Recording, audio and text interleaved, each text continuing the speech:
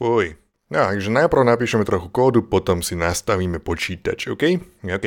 Takže JavaScriptom ty môžeš meniť HTML, CSS kód stránky počas jej chodu a môžeš reagovať na udalosti. To nám zatiaľ stačí, jo? Toto je stránka, takto vyzerá jej HTML kód.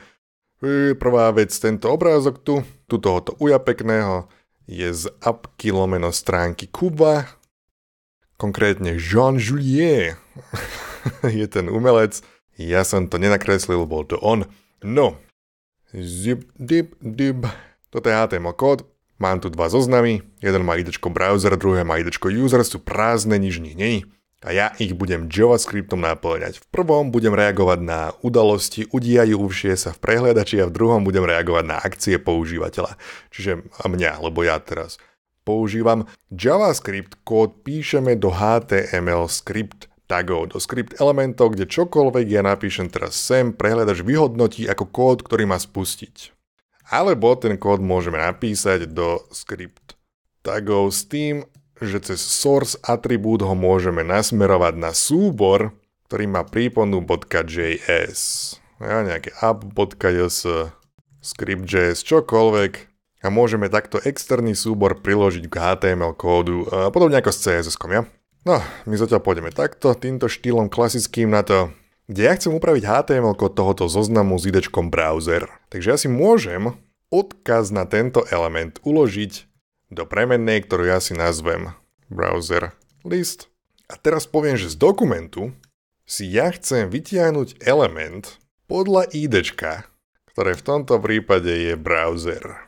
Zatiaľ to berme tak, že dokument je to, akým spôsobom prehliadač vo svojom vlastnom vnútri vidí tvoj HTML kód. Reprezentácia HTML kódu v hlave prehliadača v jeho lebení.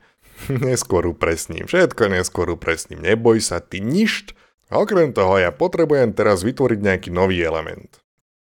Premennú si nazvem new item, v zozname každý jeden LI element je list item a ja potrebujem na dokumente vytvoriť nový element, konkrétne typu LI. A keď ho mám, ja doň chcem dať nejaký text. Um, tento JavaScript kód, ktorý ja píšem, som umiestnil na úplný spodok stránky, čiže on sa spustí potom, čo už všetko dôležité na stránke je načítané. Ja možno by ešte neboli načítané všetky obrázky a všetky videá a tak ďalej, ale tie tu zatiaľ nemám, takže prehľadač v momente, ako sa dostane na tento riadok kódu, už pozná všetky tieto ostatné riadky kódu a môže s nimi manipulovať. Ja? Takže ja môžem v tomto prípade tvrdiť, že stránka sa práve načítala. Načítala. Bitch. No zatiaľ, keď sa vrátim na stránku, nič sa nedeje, lebo ja som vytvoril nejaký nový element, nastavil som mu text, ale ten element zatiaľ iba tak pláva v pamäti počítača niekde, ja ho môžem zhrabnúť, schmatnúť a nalepiť ho na ten zoznam. Môj browser list, chcem mu prilepiť nové decko a bude to tento new item. Refreshnem stránku, bam, zobrazil sa mi nový element, keď si ho nechám inšpektnúť cez Developer Tools. Zbadám, pribudol mi to krásny nový LI element. Takže nakoniec toho zoznamu chcem prilepiť jeho nové diecko. Uuu, gratulujem. Je to krásny nový zdravý LI element. Hashtag proud mamička. Hlavne mi neukazujú jeho fotky, vôbec ma nezaujímajú, pribudol mi nový LI element v zozname a to môže vyzerať, že to je úplná maličkosť, ale není, lebo JavaScriptom si práve videl, že môžeš vyrábať kompletne nové HTML elementy. No ale poďme na niečo viacej cool. Chcem pridať nový element po kliknutí, čiže vždy, keď user klikne, chcem pridať nový element. Už veškerý obsah HTML obsah stránky sa nachádza v body elemente. Ja? A ja chcem, aby tento element počúval, že hej, neklikol na mňa niekto práve. A ak áno, tak môžem niečo spraviť. Čiže nalepím na tento element počúvač, načúvač, počúvač, či nastala nejaká udalosť, konkrétne typu klik, bolo to kliknutie a ak áno, tak ja potrebujem spustiť podobné 3-4 riadky kódu, ako mám tu ktorých cieľ je vytvoriť a pridať nový element do zoznamu. Jo? A čo spravím, keď ja mám niekoľko riadkov, ktoré majú spoločnú ucelenú misiu, spravím si funkciu. Jo? A po kliknutí na body element chcem, aby sa spustila funkcia, ktorú ja si nazvem clicked it.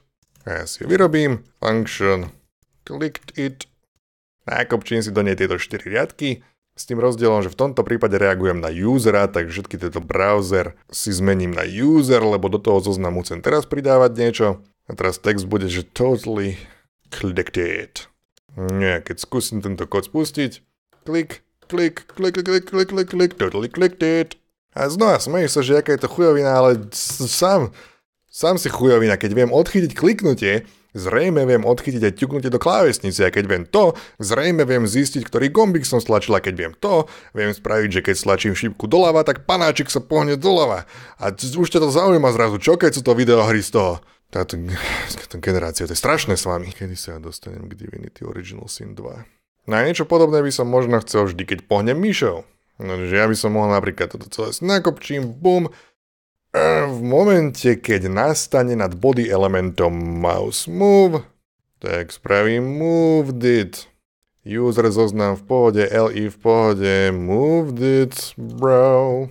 Refreshnem stránku, oh, klik, klik, klik, klik, klik, klik, klik, klik, klik. No ok, teraz vidíš, teraz vidíš, aká je to. Toto je skutočná chujovina. Lebo teraz vždy, keď pohnem myšou, sa vytvorí nový a nový LI element. Neskôr ukážem, ako môžeš limitovať um, tieto odpálenia, napríklad, že nech každú pol sekundu sa iba zachytí pohyb myši. Čiže ja budem takto plávať myšou, ale bude sa diať, že ťuk, ťuk, ťuk, ťuk a iba počas každého jedného ťuknutia sa pridá ten nový element, ten nový prvok. Alebo môžeme spraviť také niečo, že keď hýbeš myšou, prestaneš na pol sekundy, ťuk, vtedy sa odpálí udalosť. To je napríklad, keď máš formulár, hej, že napríklad počkáš, kým človek prestane písať na pol sekundy a až potom skontroluješ, či zadal správne heslo. Nebudeš mu stále blikať, že hej, píšeš zle, píšeš zle, keď ešte nedopísal, jo? A ty už si zvyknutý z iných jazykov, že do uh, funkcií môžeš posielať čísla, môžeš tam posielať stringy, nejaké hodnoty a tá funkcia ich potom spracuje. V JavaScripte do funkcie môžeš poslať inú funkciu. JavaScript don't give a fuck. Funkcie sú tzv. first class citizen, občan prvej triedy, prvotriedný občan, čo znie ako taká nejaká nechutná, že niektorí ľudia sú lepší ako iní. Propozícia, ale znamená to, že funkcie môžeš posielať ako argument do iných funkcií, môžeš ich vrácať ako výsledok iných funkcií, môžeš s nimi pracovať takisto, ako keby boli hociaká iná hodnota, ako keby to bolo číslo, alebo string, alebo true, false, čokoľvek. Dokonca funkciu ani nemusíš takto vytvárať mimo samostatne stojacu. Ty ju tam môžeš rovno strčiť na sucho, bez lásky, to ešte aj bez mena. Že ja môžem spraviť, že function, toto meno zruším a takto, jak je ju chytím. Huh. Strčím ju sem, moved it. To isté spravím, tuto clicked it, meno, fuj, na sucho, bez emócií. Uh. Dip, dip, dip. Refreshnem, moved it, moved it. Ok, tento mouse move možno odstavím. Zakomentujem Zostane mi tam klik, klik, klik, klik, klik, tit. No a na tieto anonymné funkcie si isto zvyknutý, ak poznáš napríklad jQuery, ale mne sa toto tu už začína pomaličky nepáčiť, lebo sa mi strašne veľa kódu opakuje, na budúce tento kód prepíšem, aby bol krajší a prehľadnejší a čistejší, pretože to je snad najväčšia časť programovania. Nie napísať ten kód, ale 6 krát ho prepísať tak, aby bol prehľadný a použiteľný. No ok, dobre, ja som napokon brmo.